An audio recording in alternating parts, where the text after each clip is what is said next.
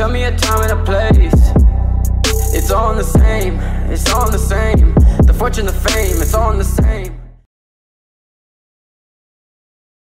What's good YouTube? It's your boy Kash Marco and today's video I have a tutorial on how to get any DLC weapon for free. It's not a clickbait, this is straight legit guys. So make sure you stay on the full video. I'll mean a lot.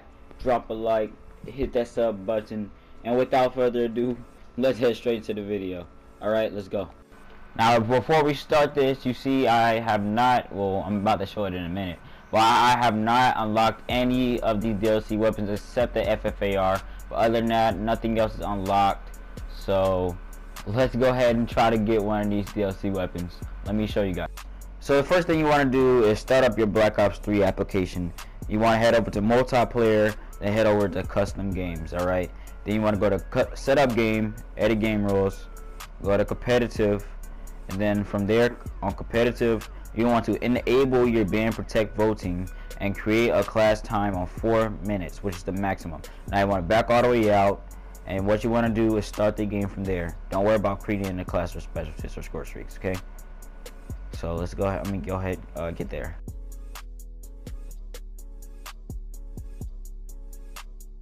now what you will want to do is ban any weapon doesn't matter okay? Now once you're done with that you'll get five seconds to go to edit create a class. All right now what you want to do is click on edit create a class.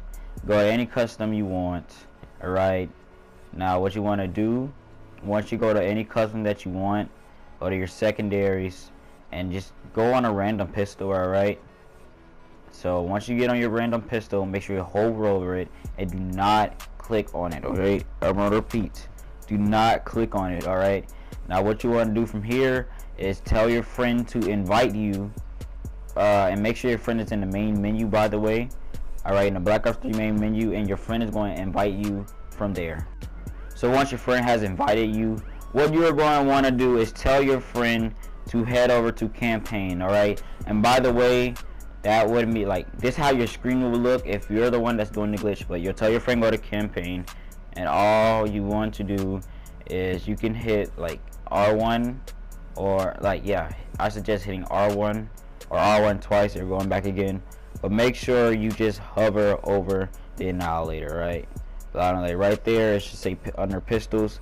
Alright just stay on that screen and then what you're going to want to do is tell your friend to go back to multiplayer and then from multiplayer click on public match alright now from there you should see like a, a, a token light up right there on the lock. That means the glitch is going well and you're on multiplayer. So what you want to do once that your friend has confirmed that you're on public match you want to click X on it alright now this screen right here is going to show the peacekeeper.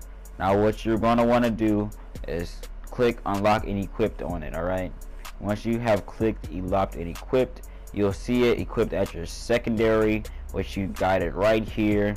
Alright but we're not done just yet guys. Now what you're gonna want to do is tell your friend to head to any game on public match alright now your friend is gonna head to any game don't matter if it's a team deathmatch uh, search and destroy. Doesn't matter just tell your friend go to any game hardcore core uh, bonus don't matter alright let me go ahead and get to the game.